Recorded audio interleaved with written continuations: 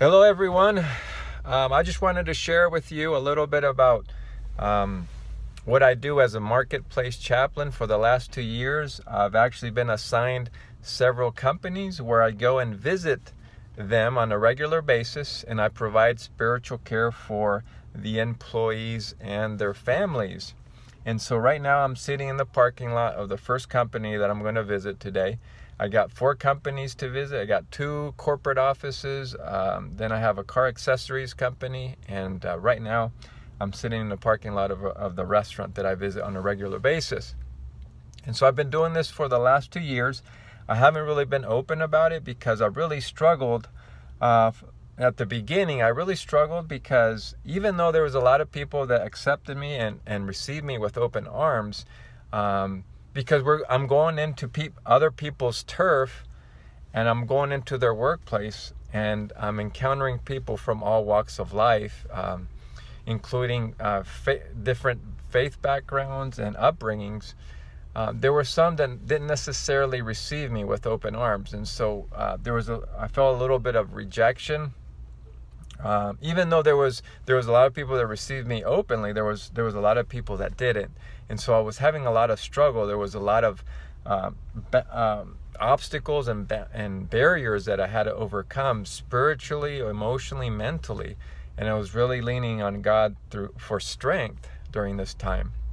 And so I've I've continued. I've endured uh, the difficulties because. Um, what I've grown to understand is in order for me to be able to reach people in the hardest to reach places in society, I, I'm required to get out of my comfort zone. The uncomfortable has to become comfortable.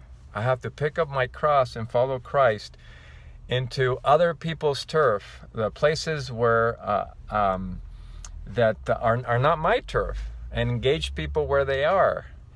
And uh, and I engage people in their workplace, the place where they spend the majority of their lives. And I am God's representative in the workplace. And I've seen God's hand, even in the midst of trials and difficulties and the feelings of rejection. I've experienced God's hand working through my life. And I've actually seen people come to know and grow in Christ.